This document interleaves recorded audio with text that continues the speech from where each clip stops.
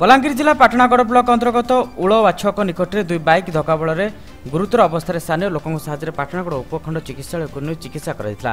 ଜଣଙ୍କର ଅତ୍ୟଧିକ ରକ୍ତସ୍ରାବ ଯୋଗୁଁ ବଲାଙ୍ଗୀର ଡିଡିଏଚ୍ ମୁଖ୍ୟ ଚିକିତ୍ସାଳୟକୁ ସ୍ଥାନାନ୍ତରିତ କରାଯାଇଥିଲା। ଗୁରୁତର ଆହତ ଅବସ୍ଥାରେ ବାଇକ୍ ଆରୋହୀ ପାଟଣାଗଡ଼ର ଓକିଲ ଭୀମସେନ ତ୍ରିପାଠୀ ହୋଇଥିବା ବେଳେ କୁର୍ଲମାଲର ଦୁଇଟି ବ୍ୟକ୍ତି କେବଳ ଆହତ ଅବସ୍ଥାରେ ଦେହର ଅନେକ ସ୍ଥାନରେ କ୍ଷତ ହୋଇଥିଲା।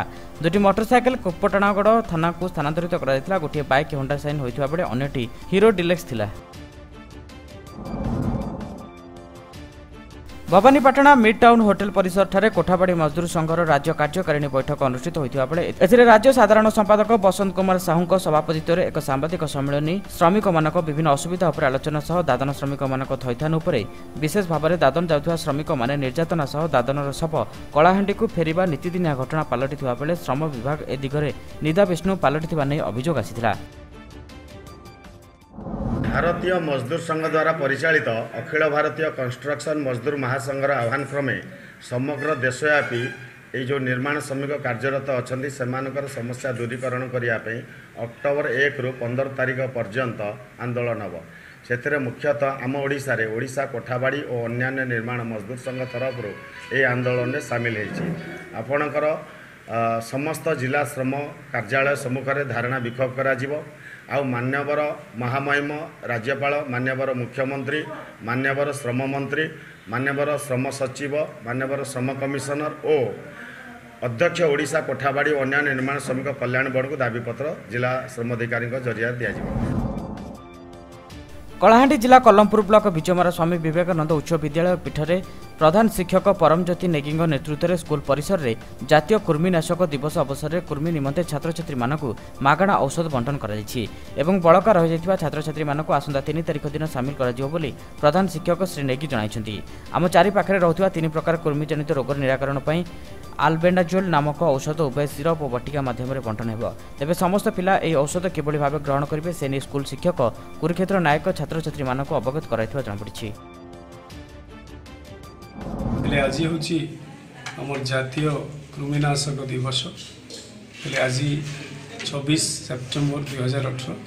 ହେଲେ ଏଇ ଦିନ ଆମେ ସ୍ୱାସ୍ଥ୍ୟ ବିଭାଗ ତରଫରୁ ଯେଉଁ କୃମି ବଟିକା ଯୋଗାଇ ଦିଆଯାଇଥାଏ ସେଇଦିନ ଏଇଦିନ ଆମେ ପିଲାମାନଙ୍କୁ କୃମି ବଟିକା ଖାଇବାକୁ ଦେଉଛୁ। ହେଲେ ଏମାନେ ସାଧାରଣତଃ ଯେଉଁ ପିଲାମାନେ ଖାଇକିରି ଆସିଛନ୍ତି ଆମର ସ୍କୁଲରେ ଷଷ୍ଠରୁ ଦଶମ ଥିବାରୁ ନବମ ଆଉ ଦଶମକୁ ଆମେ ପ୍ରଥମ ଦେଇଦେଉଛୁ କାରଣ ସେମାନେ ଖାଇକି ଘରୁ ଆସିଛନ୍ତି। ଆଉ ଷଷ୍ଠ ସପ୍ତମ ଅଷ୍ଟମ ପିଲାଙ୍କୁ ଆମେ ଏମ୍ ଡି ଏମ୍ ଖାଇସାରିଲା ପରେ ସେମାନଙ୍କୁ ଔଷଧ ଦେବୁ। ଆଜି ଜାତୀୟ କୃମିନାଶକ ଦିବସ। ଏହି କୃମିନାଶକ ଦିବସରେ ସମସ୍ତ ଉପସ୍ଥିତ ଛାତ୍ରଛାତ୍ରୀମାନଙ୍କୁ କୃମିନାଶକ ବଟିକା ବଣ୍ଟନ କରାଯାଇଛି।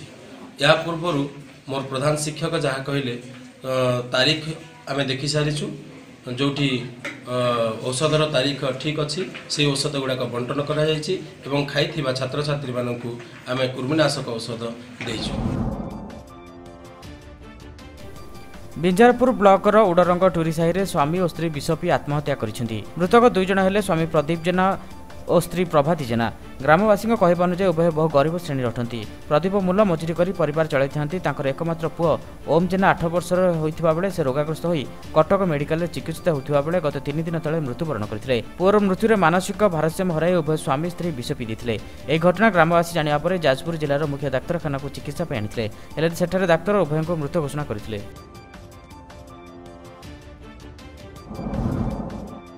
କଟକ ହାଇକୋର୍ଟ ଓକିଲଙ୍କ ଉପରେ ପୋଲିସର ଆକ୍ରମଣ ଘଟଣାକୁ କେନ୍ଦ୍ର କରି ଚଣ୍ଡିଖୋଲ ଓକିଲ ସଂଘ ପକ୍ଷରୁ ଚଣ୍ଡିଖୋଲ ଆଞ୍ଚଳିକ ପରିବହନ ଅଫିସରେ ତାଲା ପକାଇ ଦେଇଛନ୍ତି। ଫଳରେ ଅଫିସ କାର୍ଯ୍ୟ ବନ୍ଦ ହୋଇଯାଇଛି। କାର୍ଯ୍ୟାଳୟକୁ ଆସିଥିବା କର୍ମଚାରୀମାନଙ୍କୁ ଓକିଲମାନେ ଅନୁରୋଧପୂର୍ବକ କାର୍ଯ୍ୟରୁ ଓହରି ଯିବା ପାଇଁ ଅନୁରୋଧ କରିଥିଲେ। କୌଣସି କାର୍ଯ୍ୟ ପାଇଁ ଆସିଥିବା ଲୋକମାନେ ହତାଶ ହୋଇ ଫେରିଯିବାର ଲକ୍ଷ୍ୟ କରାଯାଇଛି।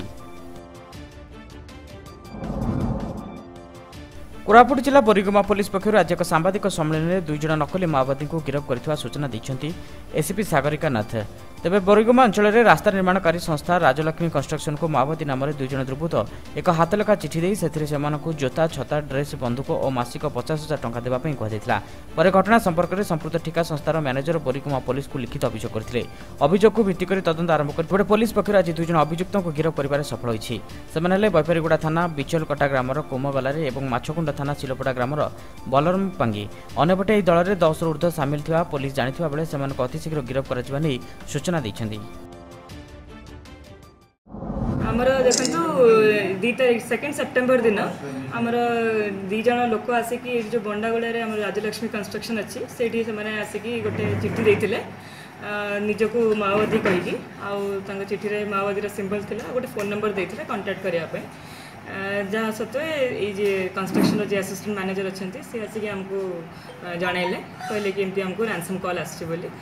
ତ ତା ଥ୍ରୁରେ ସେମାନେ ତାଙ୍କୁ କଣ୍ଟାକ୍ଟ କଲେ। କଣ୍ଟାକ୍ଟ କଲାଠୁ ସେମାନେ ତାଙ୍କୁ ନିଜକୁ ମାଓବାଦୀ ଆଇଡେଣ୍ଟିଫାଇ କରିକି ସେମାନେ କହିଲେ କି ଆମକୁ ଏମିତି ଜୋତା ଦରକାର ଏତିକି ପେୟାର୍ସ ଆମକୁ ଡ୍ରେସ୍ ଦରକାର ଆମକୁ ଗୋଳି ବନ୍ଧୁକ ଦରକାର। ଏମିତି କରି ତାଙ୍କୁ ଇନଫର୍ମ କଲେ। ସେ ଯେମିତି କହିଲେ କି ଠିକ୍ ଅଛି ଆମେ ଆପଣଙ୍କ ଡିମାଣ୍ଡ ସବୁ ମିଟ୍ କରିବୁ। ଆଉ କିନ୍ତୁ ବଳ- ଗୋଳି ବନ୍ଧୁକ ତ ଆମେ ନେଇ ଆଣିପାରିବୁନି ଏମିତି କରିକି ଯେତେ ସେତେବେଳେ ମନା କଲେ ମନା କଲାଠୁ ସେମାନେ କହିଲେ ଠିକ୍ ଅଛି ଯ- ଗୋଳି ବନ୍ଧୁକ ଯଦି ଦେଇପାରିବନି ତାହେଲେ ଆମକୁ କ୍ୟାସ୍ ଦେଇଦିଅ ବୋଲି କରି ତାଙ୍କୁ ରାନ୍ସମ୍ କଲ୍ରେ କ୍ୟାସ୍ ଡିମାଣ୍ଡ କଲେ। ଓକିଲମାନଙ୍କ ବନ୍ଦ ପାଳନ ସଫଳ ହୋଇଛି। ସେମାନେ ଆଜି ସଂଘବଦ୍ଧ ହୋଇ ସହରର ପ୍ରତ୍ୟେକ ଅଫିସ ଜିଲ୍ଲାପାଳ କାର୍ଯ୍ୟାଳୟ ତହସିଲ ଅଫିସ ପ୍ରଭୃତି ବନ୍ଦ କରିଛନ୍ତି।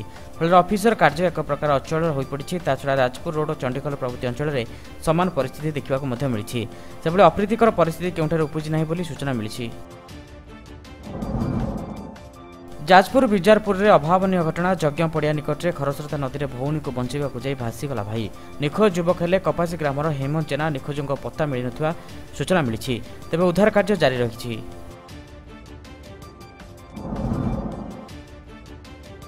ନିର୍ବାଚନୀ ବିଗୁଲ ବଜାଇଲେ କଂଗ୍ରେସ ନେତା ସନ୍ତୋଷ ନନ୍ଦ। ଯାଜପୁର ନିର୍ବାଚନ ମଣ୍ଡଳୀର ତିରିଶ ନମ୍ବର ଫୋନ୍ ବୁଥ୍ରୁ କମିଟି ଗଠନ ଆରମ୍ଭ କରିବା ସହିତ ଘର ଘର ବୁଲି ଭୋଟରଙ୍କୁ ନିଜର କରିବା ପାଇଁ ଚେଷ୍ଟା ଜାରି ରଖିଛନ୍ତି।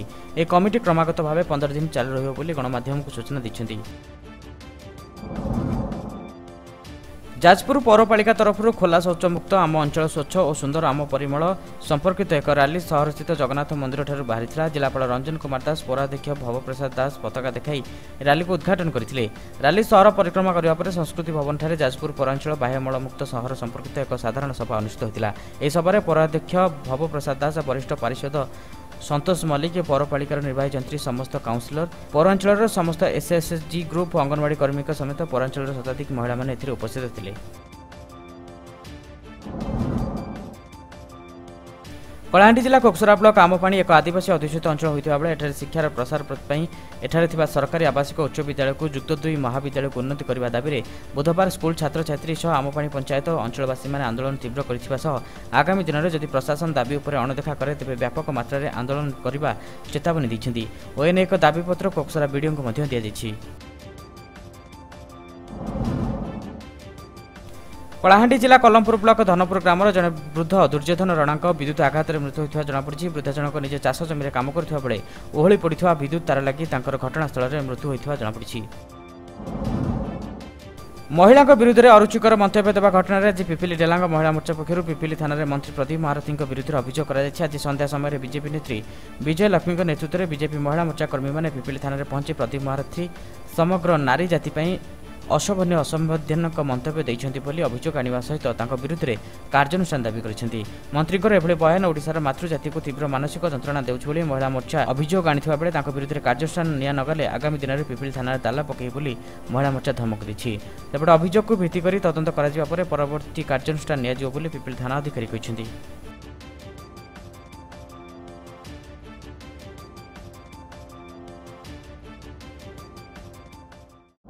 ଗୀତାଞ୍ଜଳି ମିଶ୍ର ଯିଏକି କୋଅର୍ଡିନେଟର ଅଛନ୍ତି ବିଜେପି ଡେଲାଙ୍ଗ ଆଉ ପିପିଲିର ସିଏ ଏବଂ ତାଙ୍କର କିଛି ମହିଳା ସହକର୍ମୀ ଆସି ଜଣେ ଗୋଟେ ଅଭିଯୋଗ ଦେଇଛନ୍ତି ମାନ୍ୟବର ମନ୍ତ୍ରୀଙ୍କର କିଛି ଯେଉଁ ମନ୍ତବ୍ୟ ଆସିଛି ଆଉ ତାକୁ ତଦନ୍ତ କରାଯାଉ ତାକୁ ଆମେ ଗ୍ରହଣ କରିଛୁ ଆଉ ଯାହା ବି ତଦନ୍ତ ତଦନ୍ତ ସାକ୍ଷୀ ହେବ ସେହି ହିସାବରେ ଆମେ ତଦନ୍ତ କରିବୁ ଆମେ ଅଭିଯୋଗ ଆଣିଲୁ କି ଆମର ସ୍ଥାନୀୟ ନେତା ପ୍ରଦୀପ ମହାରଥୀ ଆମର ତାଙ୍କର ଖୋଦ ତାଙ୍କ ନିଜ ବିଧାୟକ ମଣ୍ଡଳୀରୁ ମହିଳାମାନଙ୍କୁ ଯେଉଁ ଅସମ୍ମାନ କରିଛନ୍ତି ତାର ଠୋସ୍ ଜବାବ ଆମେ ପାଇବା ପାଇଁକି ଅପେକ୍ଷା କରିକି ରହିଛୁ।